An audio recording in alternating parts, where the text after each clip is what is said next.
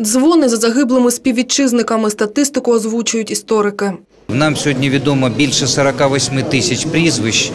Е, Практично всі райони нашої Сумщини е, були охоплені е, в тій чи іншій мірі проявами голоду.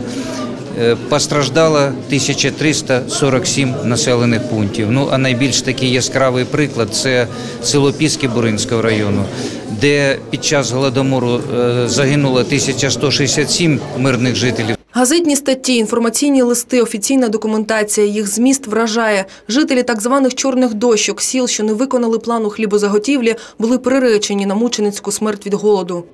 Це квитанції на визиск е, харчів за часів 20-х, 30-х.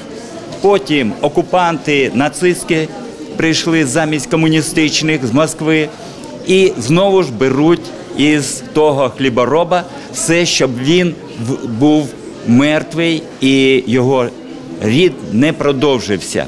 Чимало наших земляків були безневинно засуджені сталінським режимом і загинули в концтаборах ГУЛАГу. Серед жертв масових репресій Іван Багряний, Борис Антоненко Давидович, Никанор Онацький та інші видатні діячі культури. Це одна з найскладніших і найсумніших сторінок в історії нашої держави. І задля того, щоб е, прийдешні покоління знали цю історію, і щоб всі разом в єдиній Україні намагалися робити все можливе для того, щоб такі сумні сторінки історії не повторювалися, ми і робимо такі експозиції.